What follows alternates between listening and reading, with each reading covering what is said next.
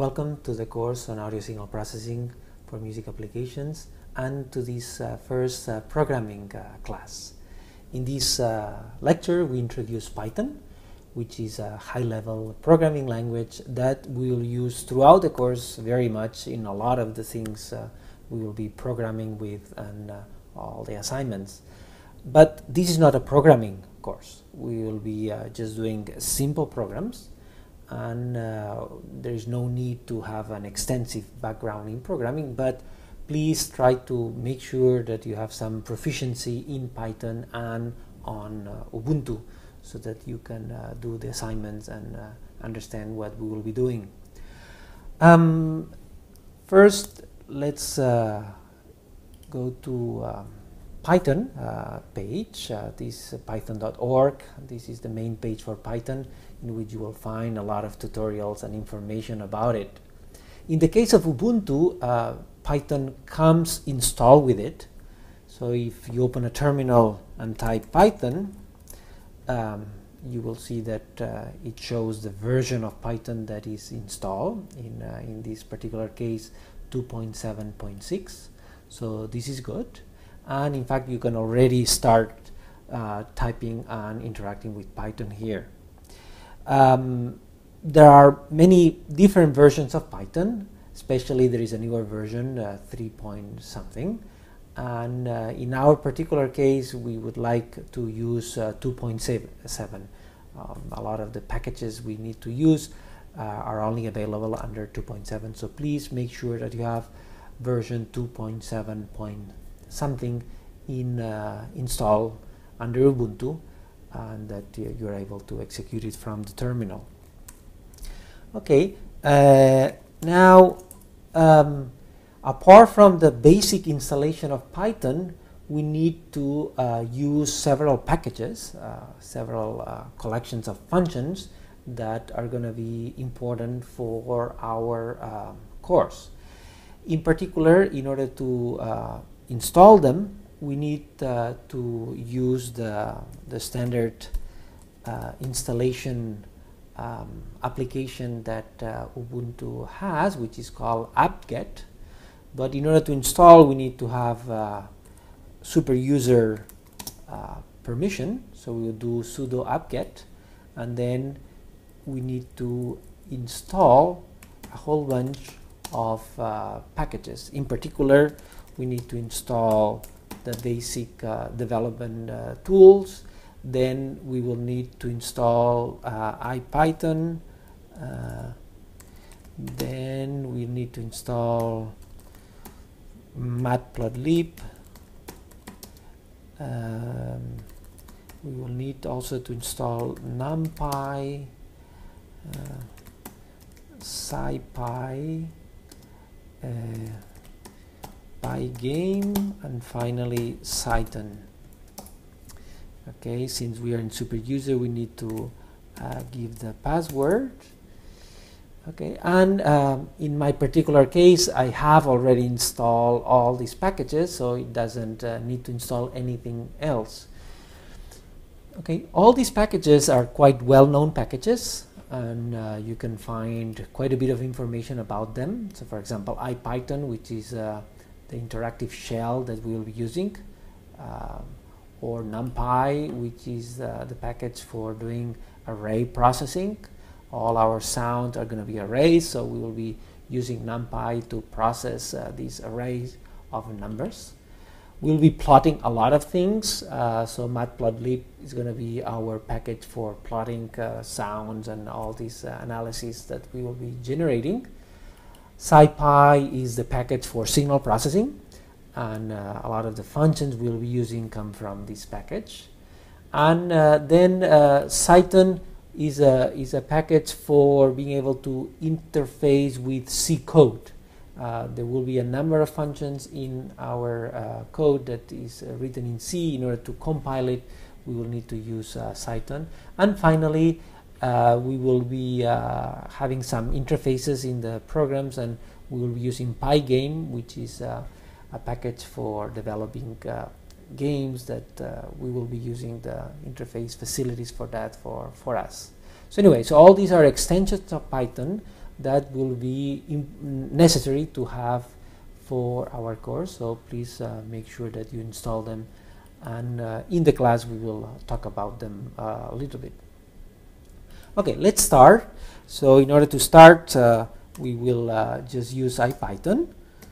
Okay so we type IPython and it already tells me uh, the version of Python again that IPython uses which is the same one the, the, the system install which is 2.7.6 that's good. And in here it gives me some uh, shell interactive shell that I can start typing uh, commands and, uh, and uh, uh, do operations so for example we can do standard arithmetic operations we can just uh, declare variables and uh, operate with them.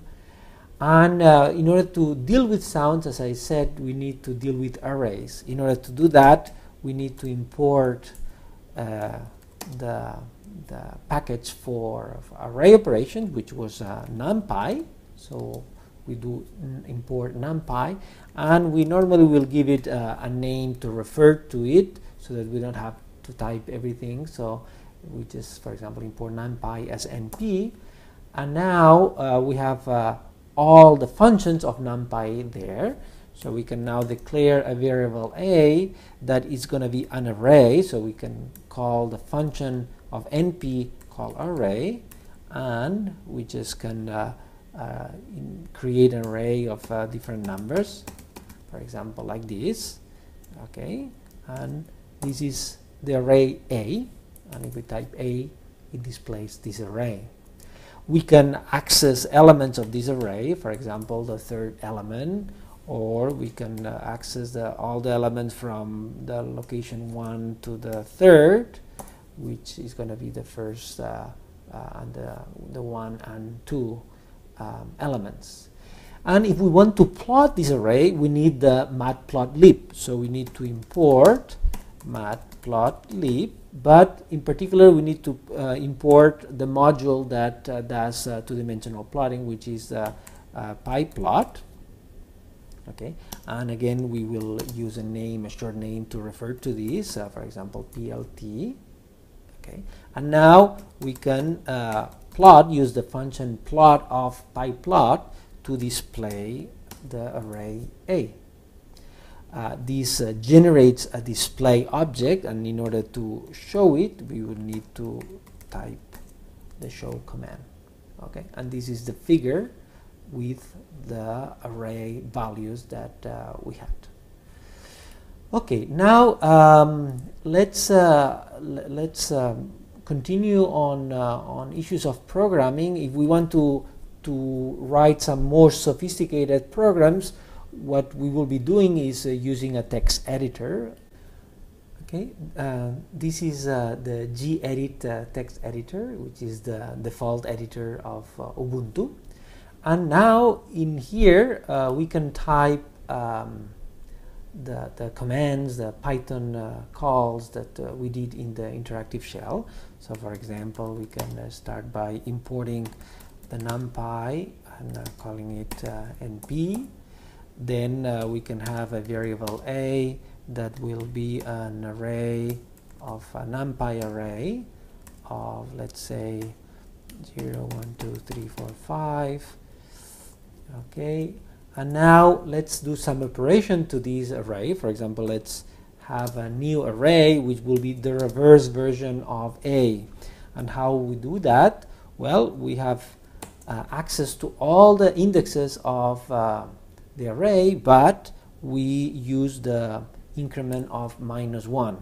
In this way, we will go reading backwards all the array, and then we can just print this uh, uh, variable b.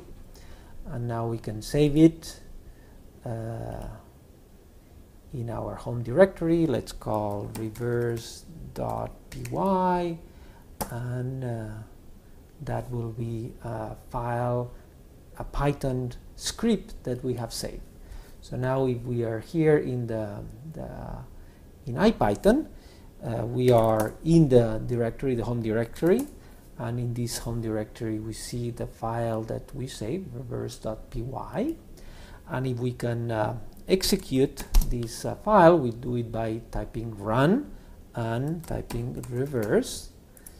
Okay, and it returns the print uh, command. So it returns the array A, but reverse. So it returns B, uh, which is the reverse version.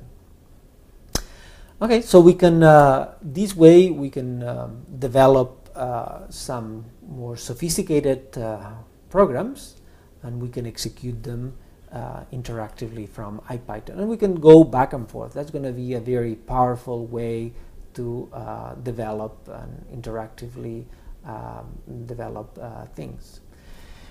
And that's all I wanted to say. Um, so basically, we have talked about Python, and uh, I refer to the python.org um, uh, website for more information about that. We have uh, used IPython as our interactive uh, uh, shell in which uh, we can program and execute files from. And finally, we have been using and talking about some packages that extend the potential of the basic Python particularly the NumPy for processing array, SciPy, which uh, will be a package very much used for signal processing uh, operations for tools, uh, Matplotlib, which uh, is used for plotting uh, things, uh, and finally another important one is Pygame that will be used for our interaction, our interfaces, and, and it has a lot of potential for sound processing. And that's all for today. Uh, we have uh, seen a very basic introduction to Python. Sorry, so I hope that uh, you have time by yourself to go more into these and, uh, and uh, look at some tutorials and some further information. And that's all. Uh, next class we will extend this presentation and we will start talking about specifically how to deal with sounds. So thank you very much for your attention.